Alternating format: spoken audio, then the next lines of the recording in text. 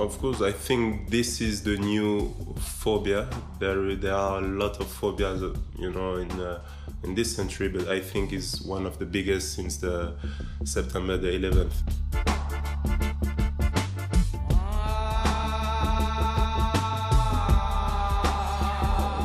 As Muslims, we are ashamed of, of that, and we never. The, the religion never said to kill an, an innocent people. You know, football players just want to play football, and they, you know, anything else, like I say, the, the, the religious background or, or where they're from, shouldn't really come into it. Shouldn't come into it. You shouldn't be prejudiced against anyone. I personally know a bit the Muslim religion. And I never saw and I never read or heard in the Quran or a true Muslim talking about whatever you see on TV sometime. You always have people using the religion. You have bad people everywhere. It doesn't mean that all of them are bad.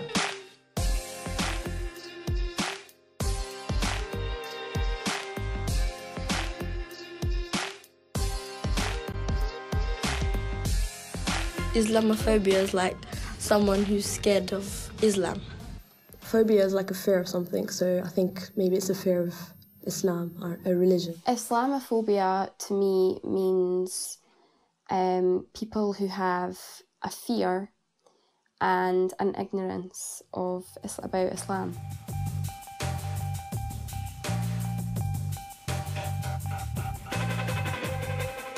And straight after the um, 7-7 bombing, people were like looking at us differently, and some some of our good mates um, they weren't actually that close to us anymore.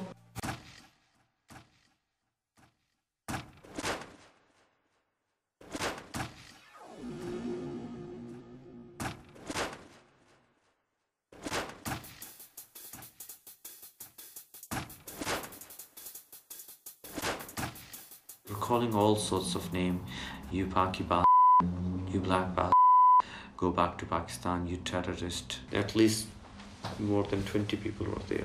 Tried to attack me when I pushed back and the knife went through here. In my head, uh, in my face, in my arm. And we were more terrified when they says to us, you terrorist, get out from here and get out from this country. You know, my dad is is a full, a pious person. He's he's got beard and that, but he's so scared of going out just for about ten minutes just to go to the mosque. He's still so scared. As soon as you put the Islamic dress on and you get onto any sort of public transport or public area, you're sort of constantly aware of this phobia. Well, me and my mum were just walking, and um, these two boys stopped on a bicycle and they called my headscarf a tea cloth. And um, that was just really stupid and arrogant because they didn't know what it was. They just go, Why are you wearing a tea cloth? This always happens to me in school because this guy just comes and just rips it off my head. Then I go and take it from him, and he just goes, "Oh my god, just take that thing off. It does not look right, and doesn't look right, and that." So I think yeah, women get getting more. My parents like they don't really talk about that to me. It's just like if somebody says like, "Oh, get out of this country, you don't belong here," and like I just don't say anything.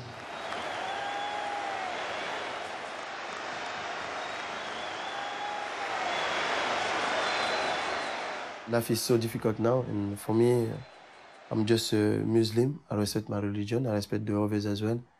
And uh, when somebody does not respect my religion, you know, does not respect his religion as well. The most important thing, even when you come from different countries, is to be to be able to to work together. I mean, the the most important thing is is respect. Respect, just respect. Yeah. You know, I wear a hat. I come from school, then people sing on the bus and that. I know they're whispering, but I just like leave it, then I go off. But that makes me feel really sad. People in our country wear gangster clothes, like those um, hats and that. We, we, no one says to them, take that stupid hat off or anything like that. So I don't see why they can say it to someone who wears what they want to wear. And it's up to them what they wear. You know, most people don't understand that there's a difference between a Sikh turban and, you know, the turban that Osama bin Laden wears. We were getting stared at a lot more and I remember one time we were actually in the queue to check in for a flight, and a little girl started crying after just looking at me, you know, and it was just like, why are you crying? Like, uh, I'm not exactly going to do anything to you. Like, I'm just trying to get on the plane, just like you. You know, the sense of panic that, that had been created at that time, and this so everyone living in this kind of climate of fear, it was kind of ridiculous. We went down to London for a football tournament, and it's all of us in a minibus and a seven single back to our hotel. Next minute, we see five police cars, helicopters, different things. We're like, I wonder what's going on. Something's really going down. So we went around the roundabout once, and Jamel was like this. I think the police are following us. We're like, ah, no, no. We went around it a couple of times. Next minute, four police cars came, a couple of meat wagons, a helicopter above us, and they came up to our car, two of them with guns pointing at, handcuffed him, started questioning us where he was from, said to us, do you have guns in the car? We just started laughing. We're like, excuse me, guns? We're here for a football tournament. And they're like, get out of the car, questioned us, asked our names, everything, kept us there for half an hour. At the end of it, all we, all we got was, sorry guys, we got the wrong people. We were laughing at the time because it was like surreal and you don't believe it, but afterwards we thought, imagine they thought we had a weapon and they just shot us, you know, and you think about it and then it sort of sinks in later on. Not everyone is bad. Like there are some certain amount of people that are like good, like respect our culture, but there are like some people. that doesn't like any of us. Just wants us to get out of the country. I think I've suffered it a bit too much. You know, every time I get onto public transport, I just don't feel comfortable. You know, people, they just give you dirty looks every time you get onto the bus or train. And I just don't feel comfortable with my own area, my own social life, and it does really make me feel a bit depressed. You know, it makes me feel very isolated.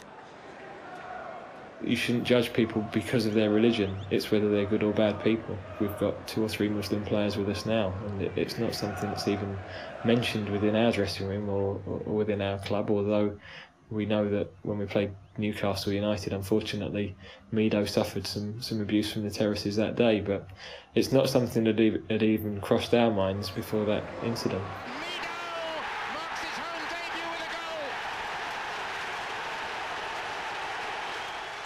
Two games, two goals. That's what Gareth Southgate and Middlesbrough paid six million pounds for. There is no reason at all to, to hear these uh, abuses in, in, in, in, uh, or in our life or in football.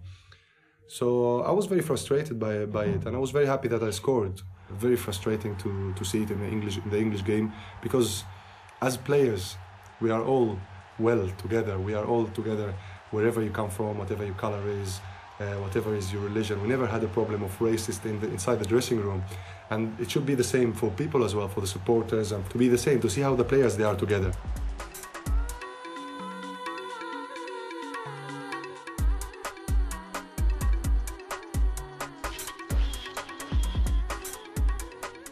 I think it's always something. Some, someone has to be afraid of something and then put a label on something. Um, in my day, I think was the IRA. If you spoke with a nice accent, you were in the IRA.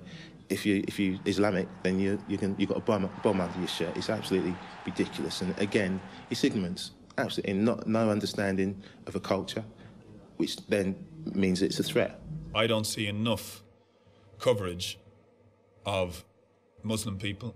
I didn't see enough coverage in, in, in the early days, in, in, as we speak about in Ireland, of people actually saying what the problem was. And when people got together and spoke about it, you saw what happened in Northern Ireland. You know, it's amazing. All it meant was just people came together and spoke, and messages got out, and people changed their opinions. It's an exceptional challenge by Thuram. Takes the ball with his left foot.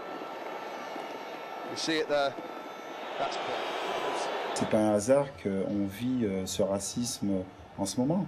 C'est simplement l'histoire aussi qui veut ça.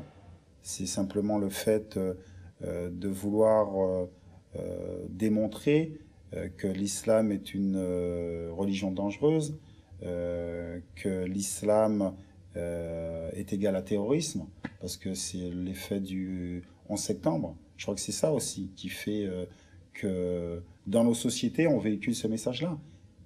On vend ce message-là. Donc les gens finissent par croire que c'est vrai. When the bombing that happened in 9-11, it's just not like Christian people that died, there were also Muslim and other different religions as well. Quite heartbreaking that those people, uh, for no reason at all, they just lost their lives for something which they didn't deserve. Previously, the policies were more like skin color racism, kick 'em out because of their skin color. And now I think because of this 77911, they've directed it towards um, Islamophobia and Muslims. I remember we were all in school and it was just rumours at first, oh yeah, London's being bombed. And I was like, that can't be right because it happens across the world, but I'd never really thought it would happen like in England where we live. So it came as like a really big shock and I had like relatives that lived there and I was like, oh well, are they all okay? Because nobody knew what was happening and it was like, it was mayhem really. It's like they were blaming us and they were like blaming all the Asian people in Sunderland. And it's like things changed. Like people became like more racist I think there might be some people that are scared of Muslims, maybe because of the bombings. Yeah, that's what I was thinking. Last year, when the incident happened at Glasgow with the bombing, a couple of days after, I was at T in the Park volunteering with Show Racism the Red Card. And it was so unbelievably hard. The whole weekend, we were getting abuse from people, and this is purely because we were promoting the message of say no to racism um, the people were coming up to us and saying, "So you agree with um, terrorism? You think that's okay?" And we were standing there. Of course, we don't think that's okay, but we also don't think that racism is okay. Ever since the you know 9/11 and 7/7, I've just been isolated from most places and most people. So I just keep on thinking that you know more wrong things will happen to me. So I just leave that, just go with my own religion.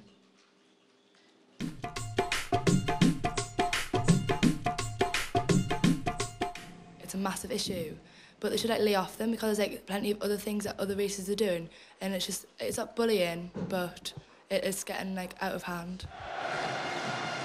Where ignorance starts sometimes at home. If the children aren't brought up the right way, if the parents aren't doing the right thing, the children look up to their parents and see them as role models, and if they're not doing the right thing, they'll do the same. So, I said, it's, it's society, as I said before, is, a, is, is the problem. It's not, it's not all of them that done it, it's just some of them. If Muslims do anything, it's straight away on the news, but if someone else does anything, they don't, they, they don't say what, the, what religion they follow, it's always Islam and all that. And it's Boateng coming in! Uh, and it's the same as in Christianity. People think Christians are, are uh, holy people, but not every Christian is a holy pe- person. So we have, you know, good uh, religious people, but we have also bad religious people. The thing is that we don't have to think that all Muslims are the same all Christians are the same give the person a chance, get to know that person, and you decide whether that person is from a good heart. Because of the media, yeah, most people think bad about Muslims. All right, they are bad Muslims, yeah, but not all Muslims are bad. And it's Messi, and surely there it is. The first of how many La Liga goals for Thierry Henry? No, first of all, I think people have to. I always say before you judge, you need to know people. You need to know about their culture. You need to know about why, why they're doing certain thing. You know, I, I think people are confusing stuff with what they see on TV and what they should learn themselves. No, no disrespect to TV, no disrespect to uh, journalism or, or whatever, but they have a big power and sometimes sometimes they use it the wrong way. If people are scared of me, I don't care because I'm just getting my, my, own life. I'm not doing nothing wrong.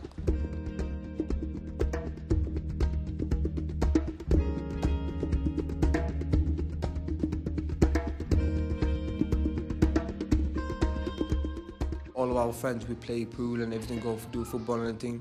But people think like, oh, they just Muslim, they sit in the house and just pray and everything. But we like, we are like them as well. We do, we do the things that they do, but not all the things they do.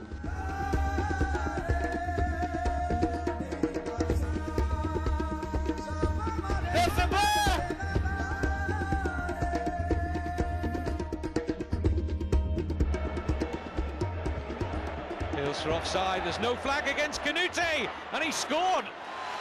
As a Muslim, I started practicing when I was uh, around 20. It's something uh, that helps you in every aspect of your life, and uh, football is one of these aspects. So it helps me as well in football. Ramadan teaches you to be patient and make an effort and be disciplined, you know, so it helps in life as well and in football, of course.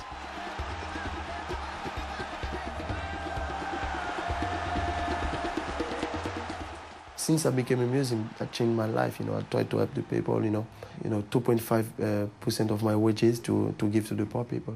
You know, and I think a lot of museum does it. You know, and I think it's fantastic. But we can't see that often. You know. A Muslim uh, person is not supposed to discriminate. Anybody could be a Muslim, you know. It's, it doesn't really matter what colour you are, it's about your faith and what you believe in. So even you could be a Muslim. I'm coming up 21. Um, when I was 19, I decided to convert to Islam. And a lot of people, when I first tell them that, they're so shocked and they say, you know, you are so far removed from what I picture a Muslim to look like. And I just I just laugh it off because now, especially now that I've converted, I can say, well, you know, there's no what a Muslim looks like. My sister's Muslim as well, so she's just turned Muslim recently. Got a lot of family that's Muslim. There's a great piece of close control here. She's just skipping out of the tackle. I have relatives who are Muslim, so I understand um, their perspectives and point of view. And it's a shame, obviously, of the political climate and what's going on. Hopefully, though, people, as soon as they learn about other people's cultures, and they'll gain a greater understanding and won't be so negative. Uh, they they wear these things, cover them. I am a Muslim. I mean, as Zinat said, no one gets forced into wearing a headscarf. That's something that's up to you. I don't wear a headscarf. People might think I'm from a different religion, but no, I'm from Islam. Having learned more and more about Islam, in fact, the Prophet Muhammad, peace be upon him, he encouraged women to play an active role in society. His first wife, Khadija, she was actually a businesswoman. He worked for her. So, I mean, women have throughout time always played a very important role in Islam.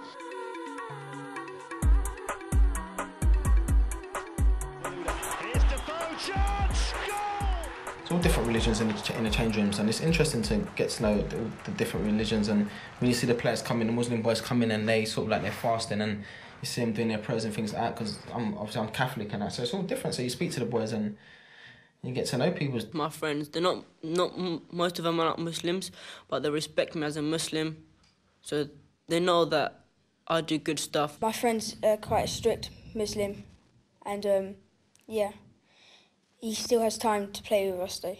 Islam teaches um, peace and Islam does mean peace. And um, the, pe- the people, like the terrorists, I don't think the Muslims, um, they call themselves Muslims, but they're not. I don't think people are scared anymore. I think they're just getting the wrong stereotype of people.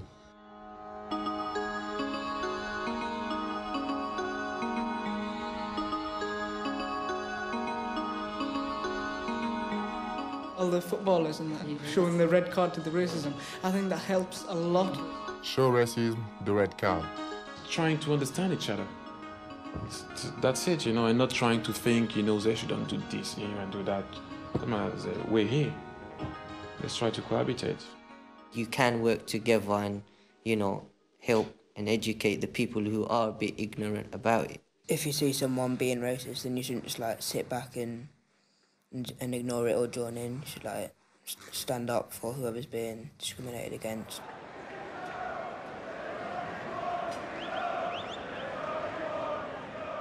Growing up, you don't really see colour or religion, and that needs to be brought from that your thinking as a child. It needs to stay all the way through your life. Young people growing up can take that message on board because they all support. Most of them support football teams and they probably don't think about the fact that some of the players are different nationalities and different religions. They probably just see their team in one shirt. Um, but the fact is that all these different cultures come together. In my school, it's going around ever. We've got posters ever of show racism the red card, and we take bullying and racism seriously in our school. We both play for football teams, um, senior football teams, and our teams aren't made up of only Muslims. It's mixed. We've got um, blacks, whites, and Portuguese. It's all mixed up. And everyone gets along. And football is a great way of sort of uniting everyone and putting your religious beliefs, your colours, and everything behind you. Because once you get on that pitch, no one sort of asks you whether you're a Muslim, you're a Jew, you're a Hindu, whether you're black, white, whatever. It's just about you and your teammates and trying to win that game. And at the end of the day, it works. Teamwork, yeah. As long as that we know that racism is wrong, and like we're the next generation, so we're, we're the ones can, that can change it. Be sowing the seeds of community, accommodating every colour, every need. So listen to my message, need my warning,